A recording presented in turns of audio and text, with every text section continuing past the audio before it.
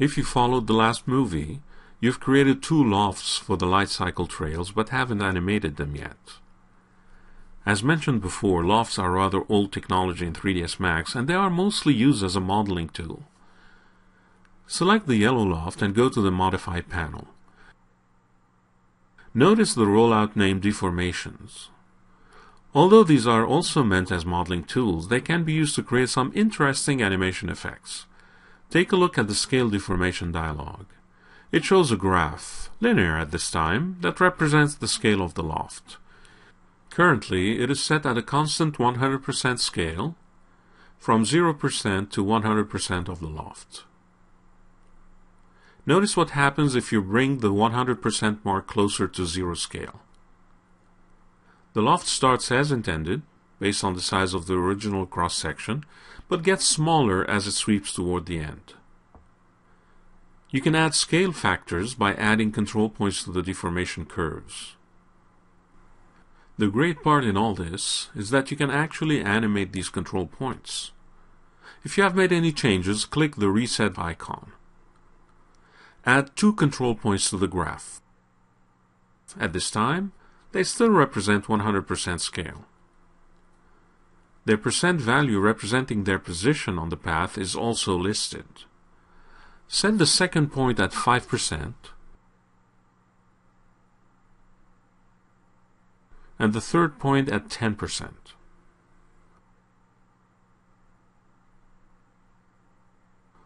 Select both the third and fourth points and set their scale value to 0.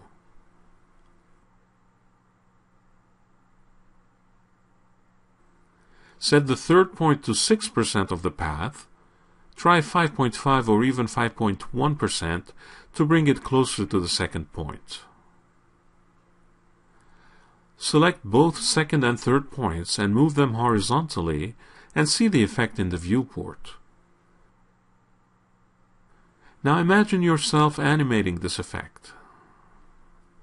What follows is a common way of animating a loft. It works really well for motion graphics for animating ribbons and all sorts of sweeping logos. Set the second point to 0.01% of the path with a scale value of 100. Set the third point to 0.02% of the path with a scale value of 0. The loft all but disappears inside the light cycle's rear wheel. Go to the last frame, frame 300, and enable Auto Key. Change the third point's percent value to 99.99. Select the second point. Remember, the second point at this time lies on 0.01%. Relocate it to 99.98%. Exit the Scale Deformation dialog. If you scrub the animation, you'll notice that the loft's animation doesn't match that of the light cycles. The light cycle's animation is linear. Exit Auto Key mode. To adjust the animation of the loft, right-click and choose Curve Editor.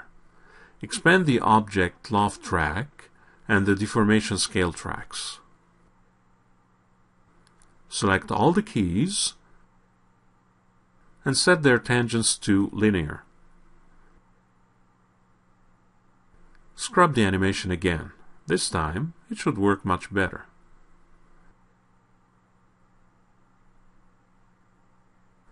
Next, you need to repeat the loft animation on the blue trail. However, the blue trail needs to end when the blue light cycle meets its doom. In other words, the blue light trail doesn't get all the way to 100% of the path. Select the blue loft and use the path value to pinpoint the percent value of the path where the loft should end. It looks like the animated loft should stop at path percent 86.4 at around frame 259.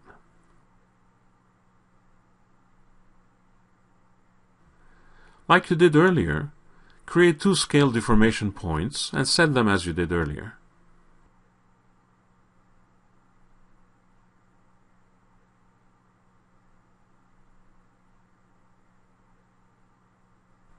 This time, though, Make sure Auto Key is on and go to frame 259 where the animated loft should stop dead in its tracks.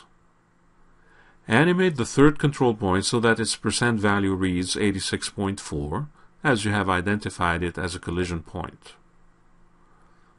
Animate the second point at the same moment in time to reach 84.399%, a fraction before the third point as they cannot share the same value.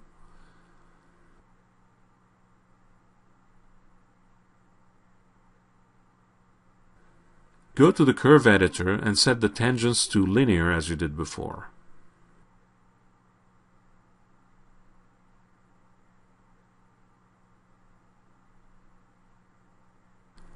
Test the animation. One thing is left to be done with the light trails. In the next movie, you will create and apply a material with gradient and opacity properties.